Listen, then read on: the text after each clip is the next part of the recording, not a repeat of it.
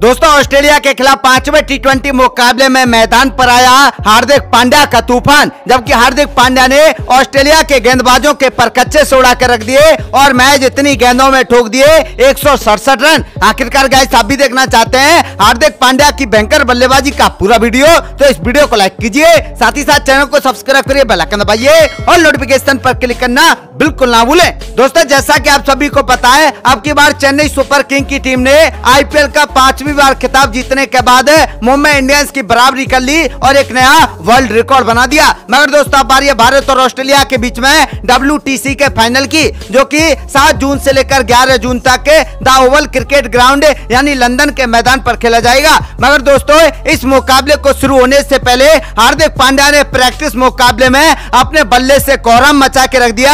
मात्र सैतालीस गेंदों का सामना करने के बाद एक सौ सड़सठ रन की तूफानी पारी खेला ली, जिसमें पंद्रह गगन चुम्बी छक्के और दस चौके भी शामिल थे। इस तरीके से ऑस्ट्रेलिया के गेंदबाजों के प्रैक्टिस मुकाबले में ही पर कच्चे से उड़ाकर रख दिए। अगर दोस्तों, आने वाले समय में हार्दिक पांड्या इसी तरीके से बल्लेबाजी करते रहे तो सौ भारतीय टीम डब्ल्यूटीसी का फाइनल मुकाबला अपने नाम कर लेगी। वैसे कैसे अपनी कमेंट में बताना कि भारतीय टीम अब की बार डब्ल्यू का फाइनल मुकाबला अपने नाम कर पाएगी या फिर नहीं।